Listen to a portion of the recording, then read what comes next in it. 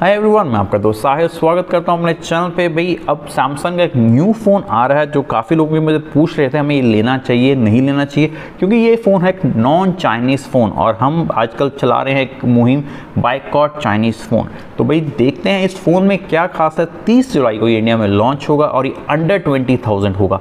तो कुछ स्पेक्स के हिसाब से मुझे बढ़िया भी लग रहा है, बाकी डिपेंड करता है इसका प्राइस क्या प्राइस पे लॉन्च करते हैं और कैसा फ़ोन होगा। तो इस फ़ोन का नाम है Samsung M thirty one S M thirty one पहले भी आ चुका है, मगर ये एम थर्टी वन एस है, कुछ न्यू चेंजेस के साथ, कुछ न्यू स्पेक्स के साथ, जो मुझे भी थोड़ा अट्रैक्ट कर रही है।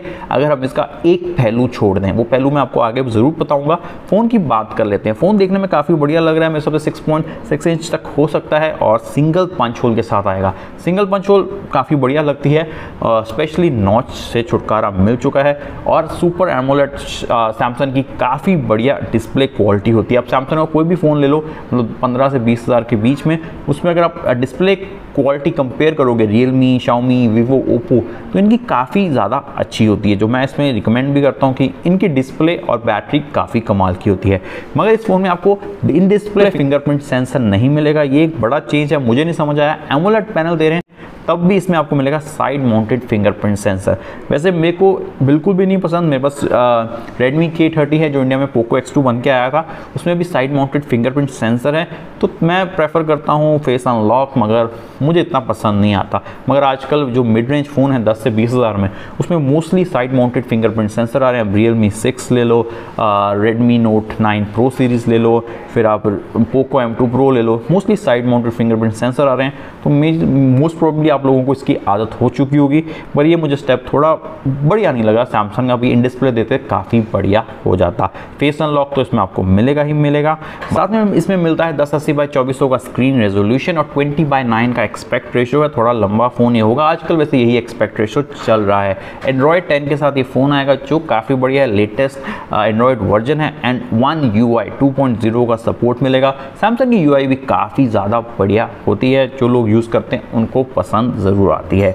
सबसे बेकार चीज़ जो मुझे इस फ़ोन में लगती है, इनके मिड रेंज में जो इनका है processor Exynos nine six one one.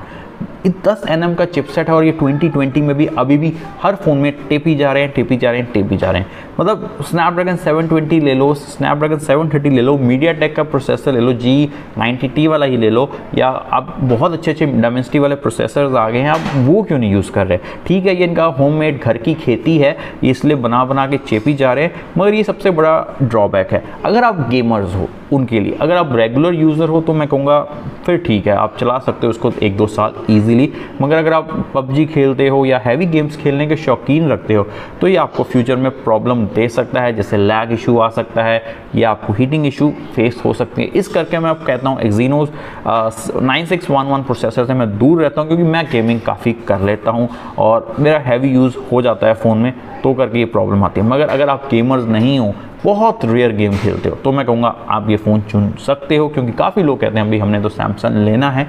जो मर्ज़ी हो जाए। उसके बाद बात की जाए इसकी रैम छः जी रैम और आठ जी रैम आपकी ऑप्शन मिल सकती है। U F S two point one के साथ ये आ सकता है और जो स्टोरेज होगी वो मेरे हिसाब से एक सौ अट्ठाईस जी बी शायद सिक्सटी फोर भी दे दें अगर प्राइस कटिंग करना चाहते हैं या थोड़ा सस्ता फ़ोन रखना चाहते हैं। और इसमें अभी आपको माइक्रो एस कार्ड का सपोर्ट नहीं मिलेगा। तो मैं कहूँगा अगर आप लेना चाहते हो तो एक सौ वाला ही वेरियंट लेना। कैमरे की बात की जाए तो क्वाड कैमरा मिलेगा। सिमिलर लुक है जैसे आप देख सकते हैं। बस एम में रियर में आपको फिंगरप्रिंट सेंसर था। इसमें नहीं मिल रहा। जो मिलेगा 64 मेगापिक्सल कैमरा सैमसंग वाला ही मिलेगा, क्योंकि अपने घर की खेती ही चलानी है। मगर 64 मेगापिक्सल का नॉट बैड अच्छा है। प्लस 12 मेगापिक्सल का अल्ट्रा वाइड 5 मेगापिक्सल का मैक्रो और 5 मेगापिक्सल का डेप्थ सेंसर सैमसंग के फ़ोन में एक ये अच्छा है दो दो मेगा के कैमरे नहीं नहीं चेप देते, जो मोस्टली कंपनीज़ दे देती है। तो ये मुझे बढ़िया है। कैमरा इसका मेरे हिसाब से काफ़ी अच्छा होगा और आप काफ़ी अच्छी फ़ोटोज़ ले सकते हैं। मेरा भी मन है इस फ़ोन का रिव्यू करने का। वैसे मैंने मोस्टली सैमसंग के फ़ोन्स के रिव्यू नहीं किए मोस्टली चाइनीज़ फ़ोन के किए हैं। तो भैया मुझे बॉयकॉट मत कर देना, क्योंकि मैं रहता था चाइना में और वहाँ पर सैमसंग के फ़ोन्स इतने नहीं चलते थे और भाई अपने पैसों से खरीदने पड़ते हैं रिव्यू यूनिट्स तो नहीं आते हमारे पास तो करके मैं अवॉइड करता था। फ्रंट कैमरा भी काफ़ी अच्छा है 32 मेगापिक्सल का, जो मेरे हिसाब से काफ़ी बढ़िया होगा और सेल्फी लेने के लिए काफ़ी ज़्यादा आपको अच्छी फ़ोटोज़ ला सकता है। इसमें आपको three point M audio jack मिलेगा, जो मेरे हिसाब से बहुत ही बढ़िया बात है। मोस्टली कंपनीज़ आजकल इसको अवॉइड करती हैं, जो मुझे नहीं पसंद, मैं कुछ होता होता है कि भाई एक इसमें 3.5 पॉइंट mm ऑडियो जैक हो, क्योंकि भाई हर बंदा टीडब्ल्यूएस नहीं खरीद ले सकता। और हम हेडफोन जैक यूज़ करते हैं। तो मेरे हिसाब से ये बढ़िया ऑप्शन है। सबसे बढ़िया अलग से एक और चीज़ है इनकी बैटरी जी हाँ छः हज़ार की बैटरी जो बहुत बढ़िया मुझे लगती है भाई। मेरे फ्रेंड के पास एक फ़ोन है सैमसंग उसकी छः हज़ार बैटरी है। काफ़ी लॉन्ग टाइम के लिए चलती है। आपको अगर एक दिन निकाल दे, और अगर आप गेमिंग नहीं करते तो ईजिली निकाल देगी। तो मेरे हिसाब से बढ़िया है। साथ में इसमें फास्ट चार्जिंग मिलेगी 25 वॉट की। मोस्टली लास्ट सैमसंग के मिड रेंज फ़ोन में 15 वॉट की आपने चार्जिंग देखी होगी मगर इसमें 25 वॉट की आ रही है तो मेरे हिसाब से थोड़ी तेज़ होगी क्योंकि 6000 हज़ार बैटरी की बैटरी को चार्ज करने के लिए भी टाइम बहुत लगेगा। तो 25 watt not a bad issue मतलब अगर इसके फ्लैगशिप फ़ोन में भी 25 वॉट मिल जाते हैं कभी कभी तो ये तो एक मिड रेंज है तो पच्चीस वॉट में ये आ जाए तो बहुत ही बढ़िया होगा।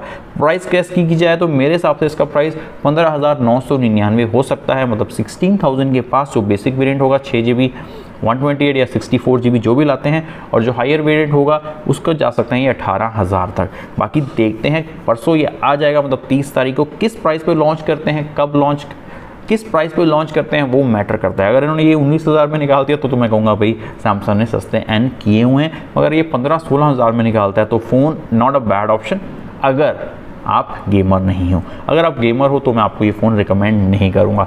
नहीं हो तो ज़रूर लीजिए, आपका अच्छा खासा फ़ोन चल जाएगा। ऊपर से नॉन चाइनीज़ फ़ोन भाई, हमने बाइकआउट करना है तो ये आप इजीली लेके सब यूट्यूबर्स को कमेंट कर सकते हो, भाई, जो करना है।